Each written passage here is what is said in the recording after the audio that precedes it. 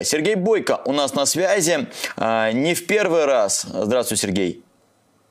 Привет, привет. Да, но подозреваю, что в последний, потому что только я анонсировал, что будет Сергей Бойко, сразу комментарий Бойко-Бойко, а сердечки-сердечки, про меня никто не пишет, все только пишут там, как хорошо, что Бойко с нами в эфире. Поэтому последнее явление Сергея Бойко а, сегодня у нас. Сергей, слушай, а, все обсуждают эту тему с мистером Сидором, а, он шел по регионам последние два дня, сегодня стало известно, что добрался до Кургана. На твой взгляд, почему в благословенном 2023 успешном году люди травятся гадостью? Если социальные предпосылки к этому?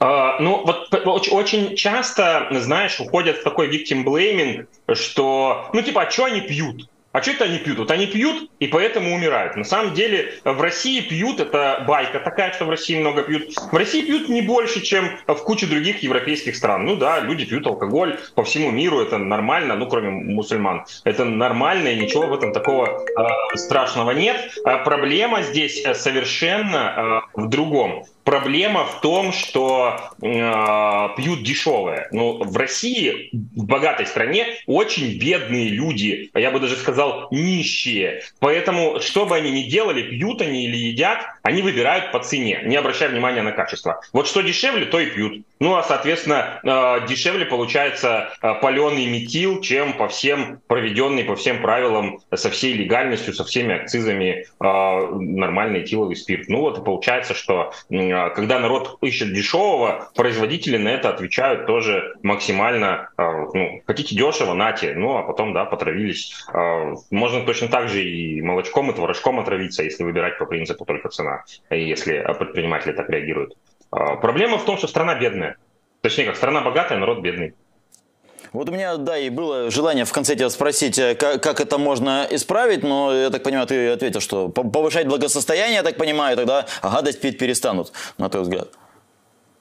Даже не благосостояние. У нас, еще раз, страна-то богатая. Uh-huh. Вопрос не благосостояния, а в распределении богатств. Я uh-huh. сейчас прикинь, какую социалистическую повестку двину, да? А, у нас же а, вот война началась... Сразу видно, полтора года у война. тебя мэр локоть. Да, полтора, а, полтора года война. А, и люди обеднели сильно. А если посмотреть статистику по миллиардерам российским, то они стали богаче. То есть народ стал еще беднее, а путинские дружбаны стали еще богаче. Э, вот проблема в России не в том, что денег нет, а в том, что они чудовищно неравномерно, чудовищно. Россия одна из лидеров в мире, никакой Индии не снилось. Э, Россия одна из лидеров в мире по неравномерности распределения. Э, то есть кто-то глушит там 20-летней выдержки коньяка, кто-то вот то, что осталось.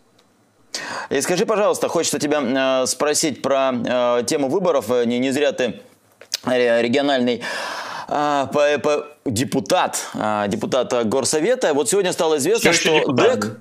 Да-да-да, самый настоящий э, депутат из народа. А, стало известно, что ЦИК, ну мы это с тобой ждали давно, что он утвердил, что ДЭК, пресловут дистанционное электронное голосование, оно будет действовать а, в российских регионах, и а, в Новосибирске твоем, и в принципе вообще в 24 регионах, и Крым тоже там а, аннексированный будет. И хочется а, спросить тебя, на твой взгляд, во что сейчас превратятся выборы? То есть э, у меня аналог а, в голове это то, как эм, выглядят э, суды, когда закрытые процессы. То есть э, вот э, вроде как суд идет, но ты узнаешь только приговор. И вот выборы, когда есть ДЭК, они тоже кажутся такими. На твой взгляд, действительно так оно и будет? Или возможно функция каких-то наблюдателей, возможно функция там приглядывания за ДЭГом? И возможно ли проникнуть внутрь этого ДЭГа, если ты не Алексей Венедиктов?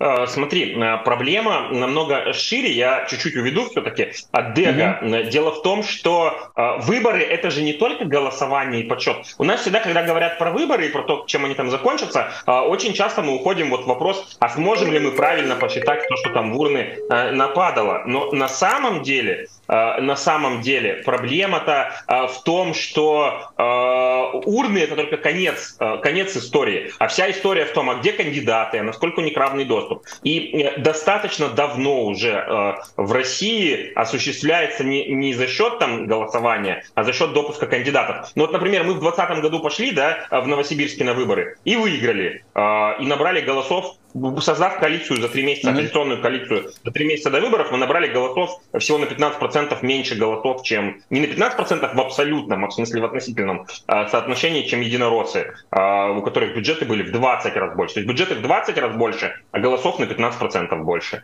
И в 2021 году эту проблему решили просто. Когда мы в соседнем с Новосибирском Бердске выставили 20 кандидатов, их просто всех не пустили. И все. Э, нет кандидатов, нет проблем. А, и это уже давно так. В этом плане э, ДЭК э, существенно изменит, несущественно изменит. Да глобально все равно можно всех, кто хоть заикнулся, что ему война и Путин не нравится, просто снимаешь с выборов и все. И уже не важно, ДЭК там или не ДЭК. Но, безусловно, безусловно, остается всегда вариант белорусский. Да? Но когда, грубо говоря, выдвигается единорос и его уборщица, и народ голосует за уборщицу, потому что она хотя бы не член Единой России. А, такие голосования, конечно, конечно, и были, они происходят. Вот буквально недавно же а, в Забайкальском крае такая, такую штуку устроили. Ну, то есть там не уборщица, там был прораб.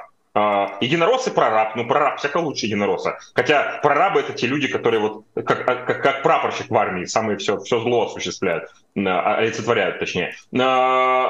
Безусловно, ДЭК, конечно, добьет э, все, что там от выборов осталось, а потому что так хотя бы наблюдателей видно избирателя, э, то есть тушка избирателя должна быть, ее можно в натуре посмотреть на участке и хоть как-то что-то проконтролировать. А в ДЭГе ноль примерно контроля. Там кроме Венедиктова больше никто ничего не знает, что там происходит, а поэтому даже вот такое прокидывающее голосование будет намного сложнее э, устроить, потому что все, что надо в ДЭГе э, дорисуют. Э, ну, глобально наблюдателям тоже кстати, ограничивают. Ты говоришь, или наблюдатели что-то могут. Там же Госдума уже выдвинула инициативы отобрать последнее, что там оставалось у наблюдателей, mm-hmm. доверенных лиц кандидатов, запретить все остальное. То есть они и э, вживую наблюдателей на участке тоже не очень хотят пускать. В этих условиях без разницы, ДЭК или голосование. И то, и то будет черным ящиком, и в том, и в том нарисуют все, что захотят.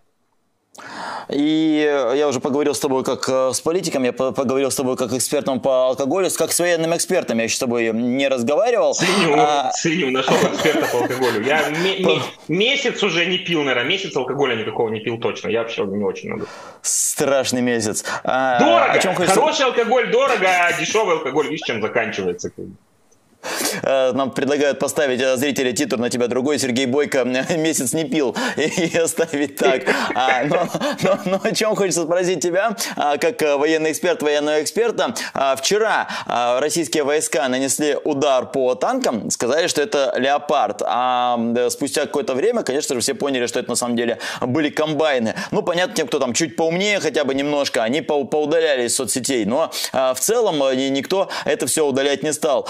И и до сих пор они треплют а, по телевизору, что мы там леопард долбанули. А на твой взгляд, а, почему они а, все это делают, почему не перечеркивают? Ну, взяли бы, извинились, удалили бы. Почему они не вертаются назад? Стыдно или, или что?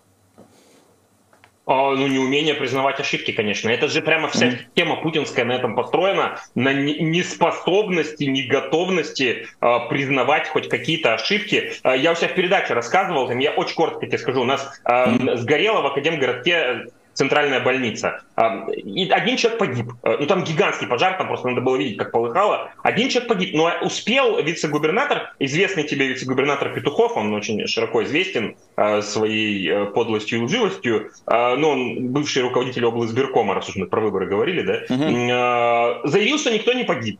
Ну, один человек погиб. А, казалось бы, что проще сказать? Ну да, ошиблись, ну, один человек погиб. Там гигантский пожар, все понимают, больницы, реанимации, люди не ходячие, а, ну, всякое может быть. Но он уже, уже все, уже сказал, что никто не погиб. Ну и начали там объяснять, что родственники, а, родственники сами дураки, ничего не понимают, на самом деле это не там, и не тогда, и не вообще, и все это не то, и не тот человек. А, и целую историю из этого устроили. Также и здесь. Ну, то есть нельзя же просто взять и сказать, ну, мы фигню какую-то спороли. Надо продолжать изобретать какую-то фигню. Комбайн там, э, не комбайн. Вообще, если посчитать, сколько они там отчитываются, сколько они чего подбили, у НАТО столько нет самолетов и танков, сколько уже Коношенко разбомбил.